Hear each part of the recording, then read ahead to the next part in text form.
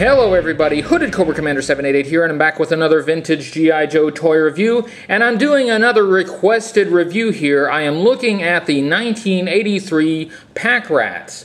The Pack Rats were introduced in 1983. They were also sold in 1984 and 85. They were discontinued after 1985 for retail, but they were available as mail-aways from 1985 all the way up to 1992. The Pack Rats were sold separately, but I'm reviewing them here in a single video because they're tiny, so uh, an individual Pack Rat wouldn't really take up an entire review video. The acronym PAC-RAT stands for Programmed Assault Computer Rapid All-Terrain, and they're basically remote-controlled robotic fighters. There were three pack rats the missile launcher, the machine gun, and the flamethrower. These toys were very inexpensive at retail. Their price point was about $3 a piece, which was about the same as an action figure back then, but their flag point value was actually one half flag point.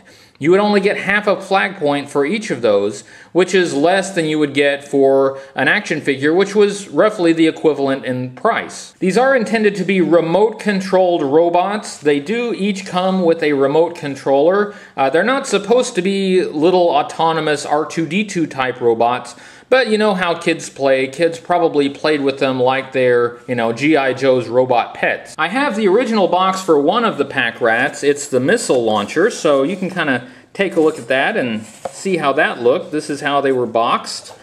Uh, when you got them in the stores back in 1983. You can see that the one half of flag point has been cut out of this one. On the back it shows, uh, looks like Hawk uh, operating the missile system. Uh, and that's what you would see on the shelves. These small pack rats were a contrast to the later vehicles that came out starting in 1984, 85, 86, which tended to be much larger. The size of G.I. Joe vehicles tended to inflate over the next few years. You got much larger vehicles like the Whale hovercraft in 1984. In 1985, they had a freaking aircraft carrier. And so the vehicles just seemed to get bigger and bigger over the years, but in 1983, they went the other direction. They gave you these really cheap vehicles, these really cheap weapon systems, and you know, if you're eight years old, you could probably pick up all three of these with one week's allowance. So if the 1984 Whale hovercraft is the big mama of the vehicles, these would be the babies. They're babies! Come on, Wolverine, you gotta push, push for me, Wolverine. Don't give up on me now. Push, push all, push with all your might. Don't forget to breathe, don't forget to breathe, Wolverine. You gotta push this baby out. You gotta trust me, Wolverine. I'm a doctor. I went to Harvard. I know what I'm doing, and I know you gotta push, and that's what you gotta do. You gotta do what I say. Push, push that baby out. I don't know nothing about birthing no babies. Shut up, Scarlett. Don't listen to her, Wolverine. You do what I say. You do what your old pal Doc says, and you push that baby out. Here it comes. Here it comes. Grab them bolt cutters. We gotta cut that cord. Congratulations, Wolverine. You gave birth to a missile launcher. Oh, thank you. Yeah, that's so cute. Oh, little baby missile launcher. Oh. This video's gone off the rails. Let's look at each of these individually, starting with the missile launcher. Uh, the missile launcher came with this remote controller, and as you can see, it's kind of walkie-talkie style. It's got a very thin uh, antenna on it, and that could probably be broken off fairly easily. Now, I haven't seen a lot of broken antennas on these, but that's mainly because usually these are lost altogether. Um, you can see how small it is, and you can see how, you know, this is just going to disappear if you put it in the hands of a kid. Finding the pack rats on the secondary market is fairly easy, but finding the stupid remote controllers can be a bit of a pain. The pack rat missile launcher had four missiles, and uh, they pegged into this slot here, in this little hole in the front portion. Uh, as I stated in my review of the 1984 Cobra Stinger, these missiles were reused for the Stinger. But when they were used on the Stinger, they were one solid piece of red plastic. Whereas on the Pack Rat missile launcher, uh, they were two pieces. There, it was a two-stage missile with this gray piece at the back end and red on the front end. On my review of the Stinger, I did identify a real world missile that I thought closely resembled this missile system, but looking at it again, I don't think it's close enough. It doesn't look similar enough and it doesn't function the way this is supposed to. I mean, this is supposed to be a surface to air missile. So for now, I'm going to say I don't have a real world analog to this toy missile. The turret for the missiles can rotate all the way around and it can elevate at least as far as the missiles will allow it to.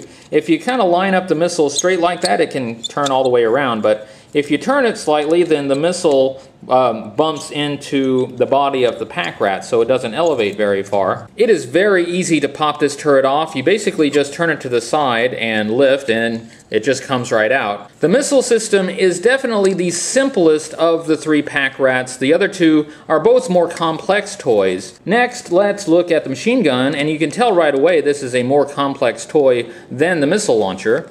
The remote for the machine gun was this joystick style remote. Uh, it has a handle that goes in the hand of the action figure. Uh, and it has this joystick on the top, kind of like a video game. The Packrat machine gun has four big machine guns, and it moves around quite a bit. It can rotate all the way around, and these two on the outside can elevate, so when you're going to take down aircraft, those can flip up and shoot up toward the airplane there. It has an antenna that kind of flips up and down like that. Um, it has four wheels instead of fake treads. The wheels on mine do not roll very well. It scoots more than it rolls. But it does have this articulated um, steering here. They can kind of swing in and out like that. Uh, and so you can definitely tell this is a more complex toy than the missile launcher. Uh, it's not bad. I'd say this is probably my, my favorite of the three. It also has some pretty impressive detail. Look at the circuitry on the back of the machine gun. I mean, this is a pretty good looking toy. Uh, looks pretty fierce and it looks like it'll take down some bad guys. That brings us to the flamethrower, and the flamethrower is by far the most complex of the three pack rats, and it's probably also my least favorite. The remote controller for the flamethrower has this kind of pistol grip with an antenna sticking out the front. It looks kind of like a ray gun. Uh, this one I think is kind of goofy looking. Uh, I don't care for it that much. Here are the remote controllers for all three of the pack rats side by side so you can identify them.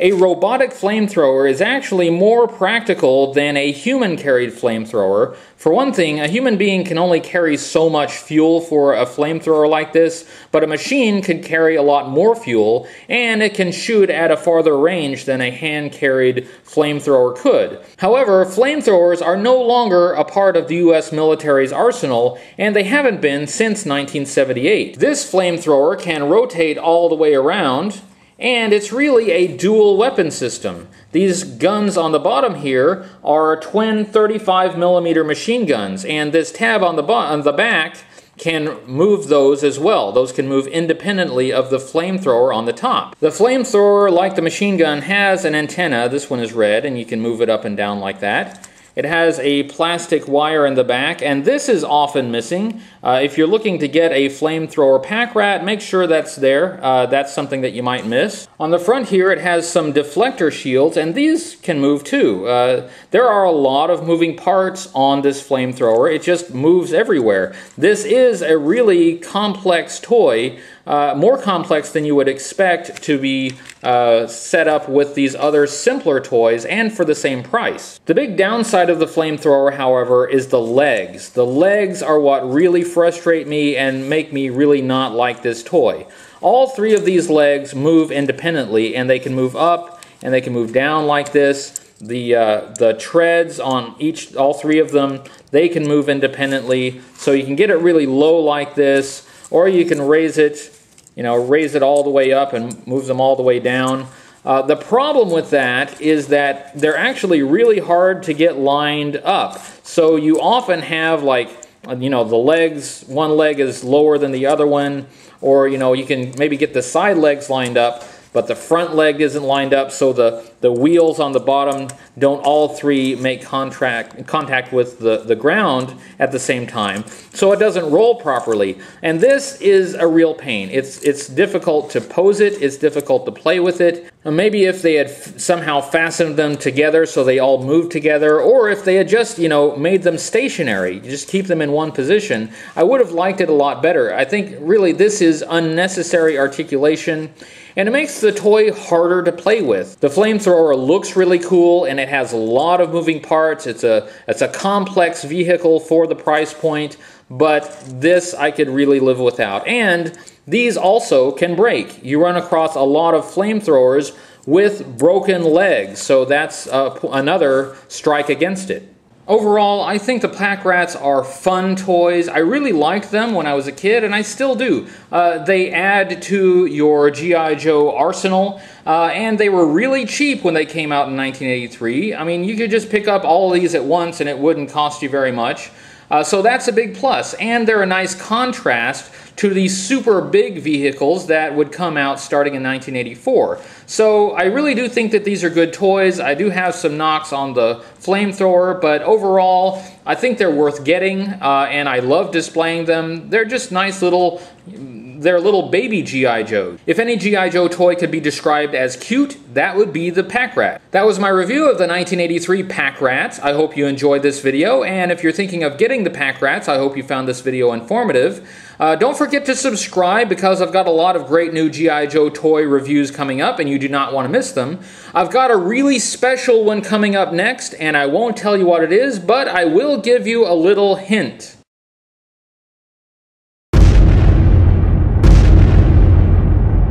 I'm really excited about the next review video, and you should be too. So don't miss it. Make sure you subscribe to the Hooded Cobra Commander YouTube channel, and make sure you like the Hooded Cobra Commander Facebook page. Thanks for watching, everybody, and I'll see you next time.